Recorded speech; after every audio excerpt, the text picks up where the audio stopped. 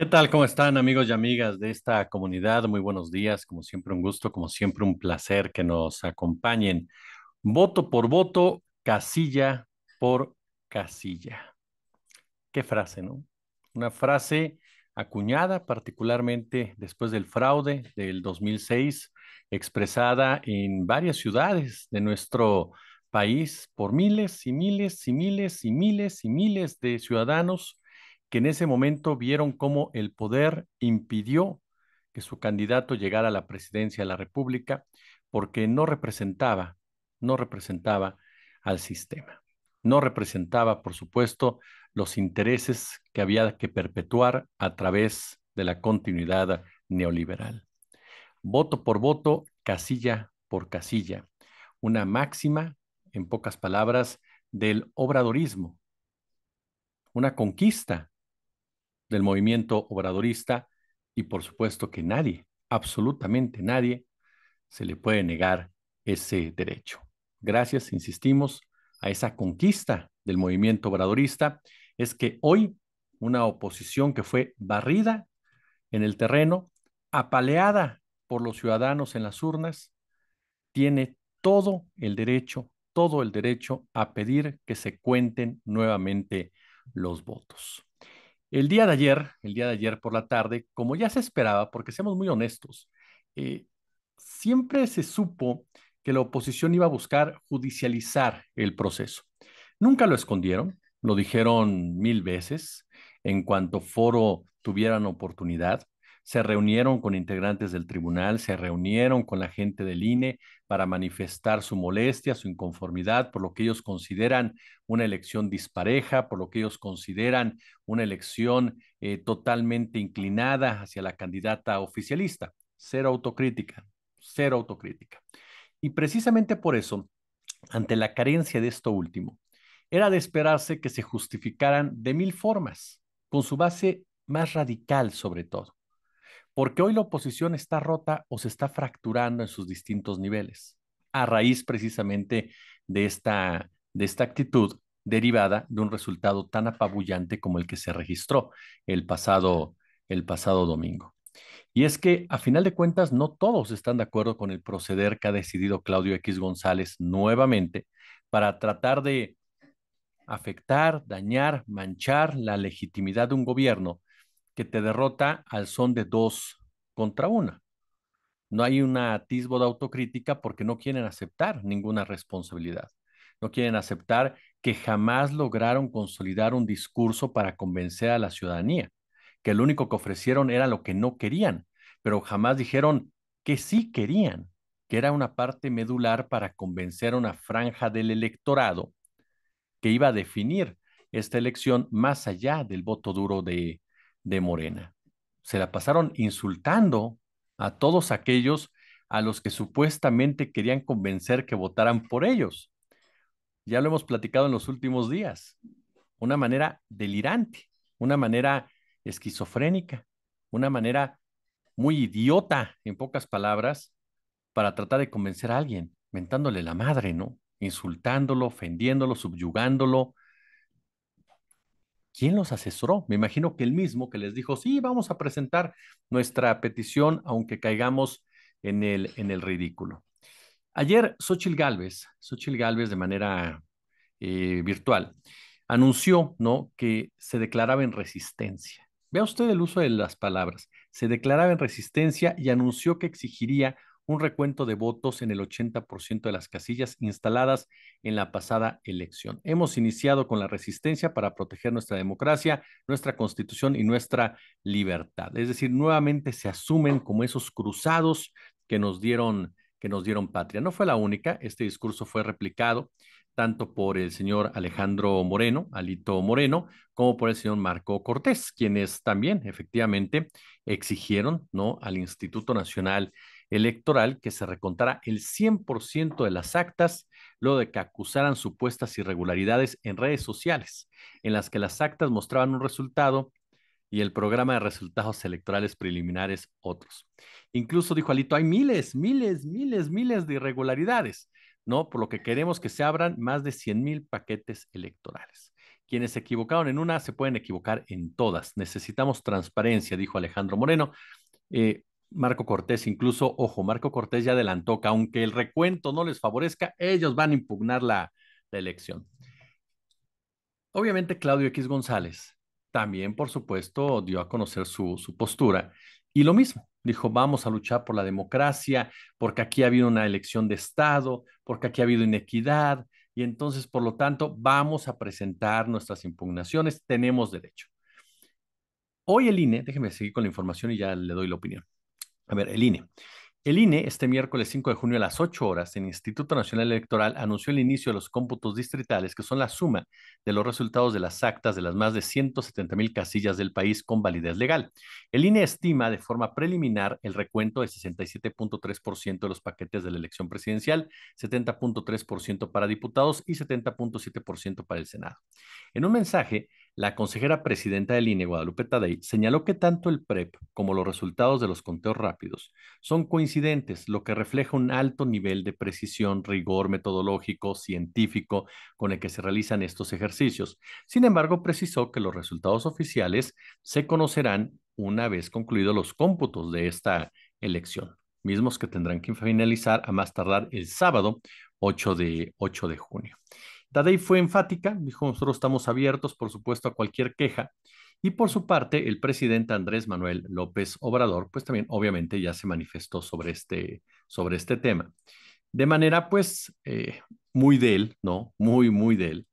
Eh, y empezó a decir, sí, voto por voto, casilla por casilla, ¿no? Yo respaldo la solicitud de Xochitl Gálvez que se revise el 80% de las casillas electorales, dice Andrés Manuel López Obrador, ¿no? Yo estoy de acuerdo con Xochitl, que se realice, se revise todo. Dijo, el que nada debe, nada teme, entonces adelante. Y reprochó que en las elecciones del 2006, en las que hubo fraude, ¿no? La diferencia entre él y Calderón no llegaba a un punto y se negaron precisamente a llevar a cabo el voto por voto, a diferencia de ahora que son 30 puntos de, de distancia. A ver, hay varias razones por las que uno pensaría o creería que la oposición lleva a cabo una acción de esta naturaleza.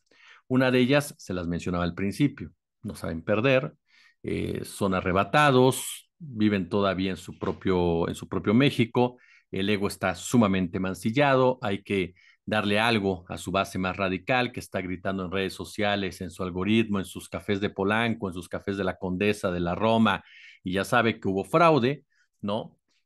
Ese es por un lado. Pero por el otro, no podemos descartar tampoco esta estrategia sumamente perversa de querer incendiar el bosque. ¿Por qué razón? Porque hace unos días, y esto es muy importante, muy, muy importante, bueno, hoy, y para que cuadre, hoy Guadalupe Tadei decía que se van a abrir, obviamente se van a contar en presencia de representantes de partidos, de la autoridad electoral y por supuesto de observadores. Este último punto vale la pena recordar un trabajo de Nancy Flores de Contralínea, en donde da a conocer que el Acuerdo Nacional por Integridad Electoral se perfilaba cada vez más como uno de los instrumentos que podrían usar los partidos de oposición para promover la anulación de los comicios presidenciales del próximo 2 de junio. Aunque el 10 de octubre del 2023 se presentó como un supuesto ejercicio democrático, en realidad, nos dice Nancy, dejó la observación electoral en manos de una mayoría de asociaciones opositoras al gobierno de López Obrador, incluso promotores de la guerra sucia en contra del llamado humanismo mexicano. Se trata de la Coparmex, Acción Ciudadana frente a la Pobreza, Borde Jurídico, Causa en Común, Más Ciudadanía, Instituto de Estudios para la Transición Democrática, CCI, Consejo Cívico de las Instituciones Laguna, Fuerza Política Feminista, Fuerza Migrante, ORG, Táctica Ciudadana, Red Ibero DS, Transversal Incidencia Estratégica en Políticas Públicas, Incide Social, Iniciativa Ciudadana para la Promoción de la Cultura del Diálogo, México Números e Investigación, Asociación y Política, Práctica Laboratorio para la Democracia, IDECO Instituto para el Desarrollo Democrático y la Competitividad, Teniendo Puentes, Manos Unidas por la Justicia, Orga, Observatorio Regional de Gobernanza y Políticas Públicas, Voto Informado de la UNAM, eh, Colectivo 50 más y varios de estos grupos. Estas organizaciones firmaron el acuerdo el 10 de octubre, cuando el calderonista Rey Rodríguez Mondragón aún era magistrado presidente de la Sala Superior del Tribunal Electoral del Poder Judicial de la Federación. Esto les ha permitido presentar tres informes en donde se ponen en entredicho la solidez del Instituto Nacional Electoral para garantizar el proceso electoral presidencial transparente y confiable.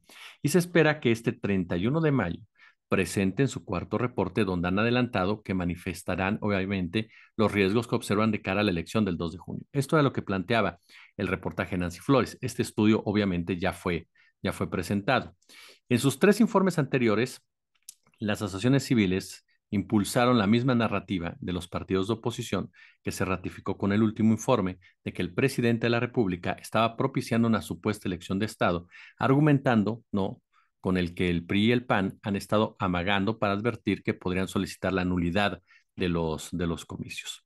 Ayer, este Martín Faz, consejero electoral, fue enfático, dijo, son irregularidades normales, errores normales, que no quiere decir que haya una elección de Estado, ni mucho menos un fraude electoral.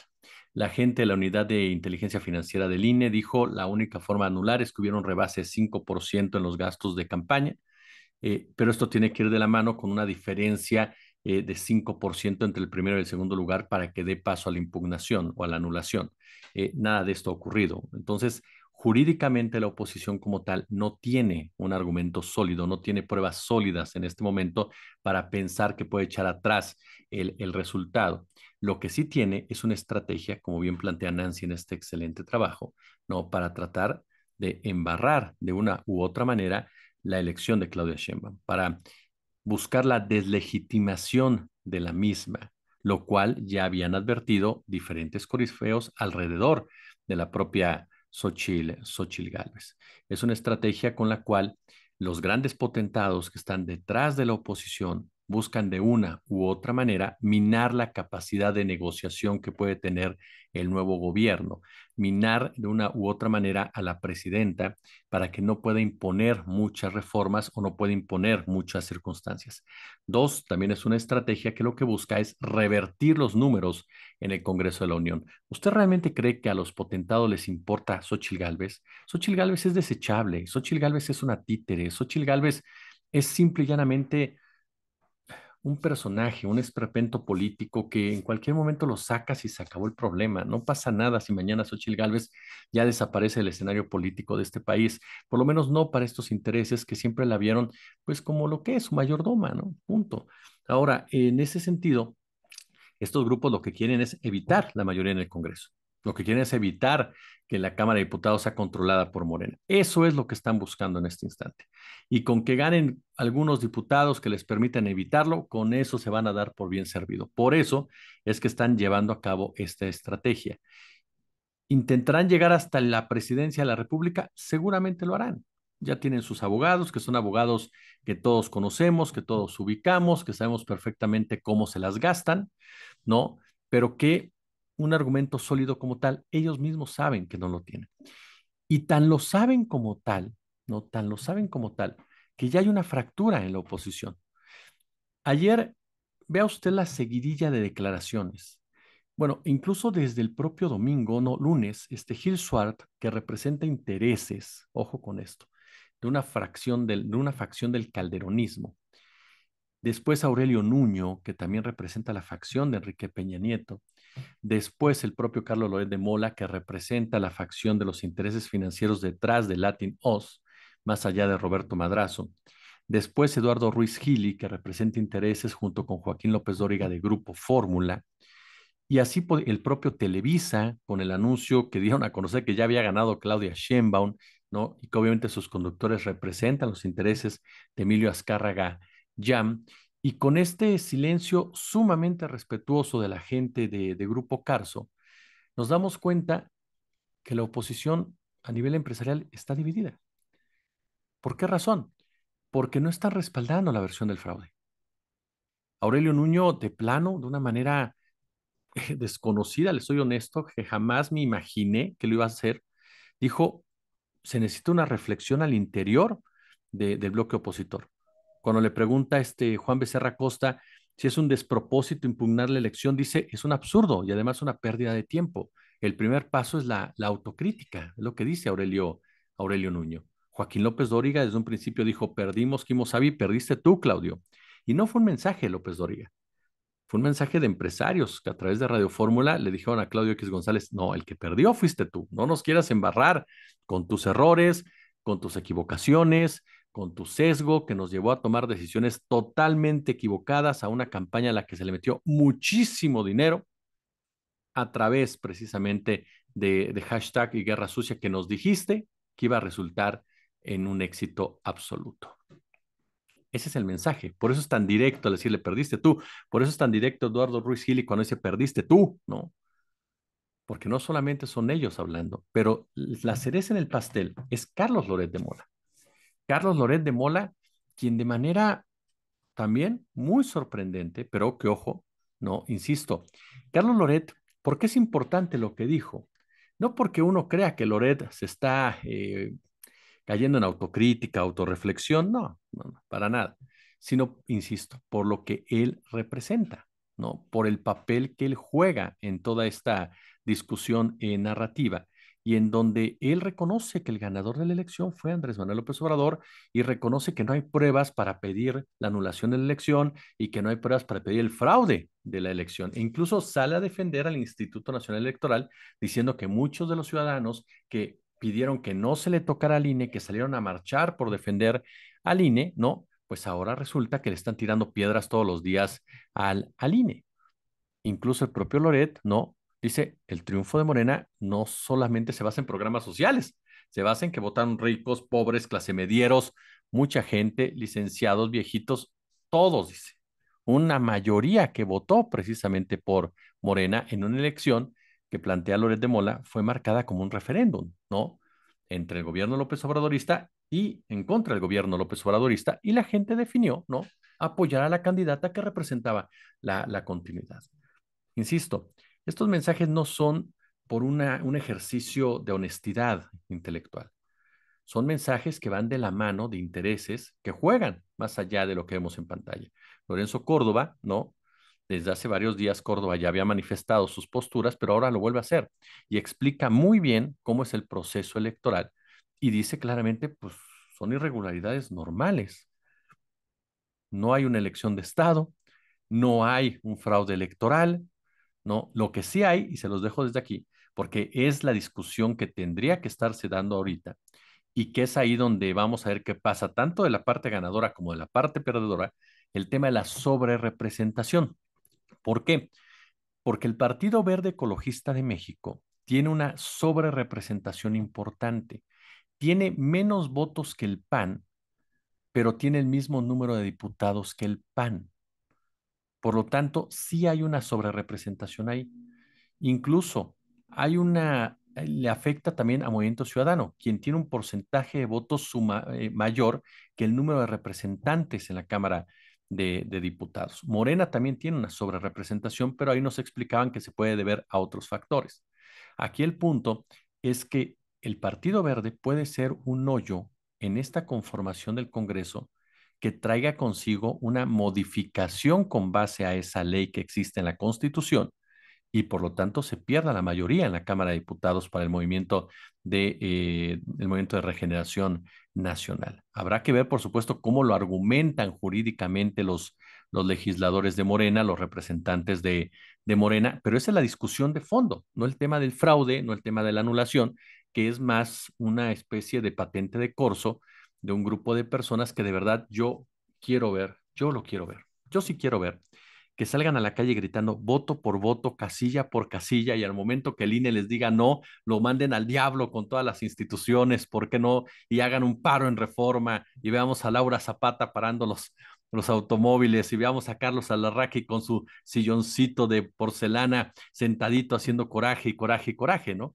Claro, toda, toda la gente va a mandar a sus trabajadores a hacer el paro, ellos no se van a parar jamás en, en, la, en la vida, pero sería, está de acuerdo que sería el punto final perfecto para una oposición lamentable y patética, ¿no? Que nos ha tocado presenciar en este momento, que lleven a cabo un derecho, una prerrogativa que les otorgó el obradorismo perdón, no quiero ser sarcasmo, sarcástico, pero ya sabe cómo soy y luego me invitan. No. Entonces, sí creo que ya en plano serio, viene un proceso, un proceso, ya era esperado, insisto, ahí tiene usted las distintas ramificaciones, se ve una oposición fracturada, se ve una oposición desesperada, se ve una oposición que está tirando palos de ciego, era una judicialización esperada y hay que estar muy atentos con el tema de la sobrerepresentación, que es el tema efectivamente de, de fondo. Bueno, hasta Ciro Murayama, Ciro Murayama también agarró y dijo, ¿saben qué? Fraude no hay y anulación tampoco, o sea, ni le estén buscando por, por ahí, ¿no? Entonces, habrá que ver, habrá que ver qué es lo que viene para mí, se los reitero, lo que hay que estar muy atentos es lo que denuncia precisamente esta Nancy Flores respecto, respecto a, a cómo está constituido ese grupo de observadores que va de la mano con la anulación que están pidiendo estos partidos y el equipo jurídico que ya le está que ya le está presentando, aun y cuando en este momento, pues obviamente todos los analistas serios, los expertos serios, abiertamente han dicho, no tienen absolutamente nada que, lograr con ese sentido. Bueno, hasta Álvarez Maine se, se rió en, en, este, en X, ¿no? En X, en donde abiertamente dijo, pues que sí, que son una oposición este, penosa y lamentable que, que están exigiendo anular cuando no saben defender en las urnas lo que realmente perdieron. Y es que, ya para concluir, efectivamente, ese es el gran problema. Es una oposición que no sabe competir, que no sabe disputar. Es una oposición que perdió todo. Mire, un dato, bajo las gestiones de Marco Cortés, de Alejandro Moreno, de Jesús Zambrano, el PAN, PRI, PRD perdieron en conjunto 25 gubernaturas. 25 gubernaturas.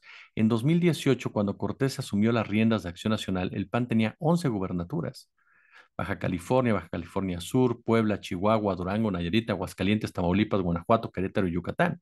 Al perder en los comicios en esta última entidad, el azul gobernará solo en Guanajuato, Querétaro, Aguascalientes y Chihuahua, cuatro estados.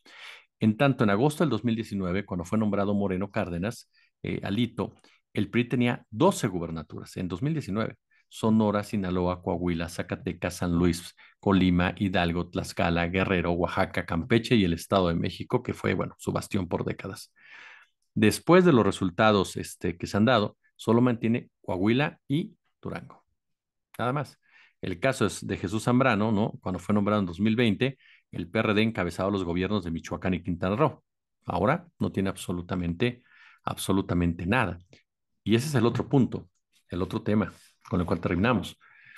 Estos personajes, ante la falta de autocrítica, quieren desviar la atención de su responsabilidad, cuando ha sido por un pésimo manejo de la dirección de estos partidos y de andarle haciendo caso a Claudio X González, que están donde están, pero son tan irresponsables, tan cobardes, tan, pero tan poco democráticos, que no pueden aceptar que ellos mismos se hundieron. Pulgar arriba, si les gustó el video, compártanlo, nos ayuda muchísimo, de verdad, de verdad, nos ayuda muchísimo que lo compartan. Déjenos su comentario, su punto de vista, ya lo saben, lo leemos todos. Eh, si es posible, por supuesto, échenos super chat, échenos super gracias, únanse al canal y ya lo sabe, suscríbanse, suscríbanse, denle a la campanita, activen notificaciones de YouTube. Yo como siempre me despido y ya lo sabe, como siempre un gusto, como siempre un placer.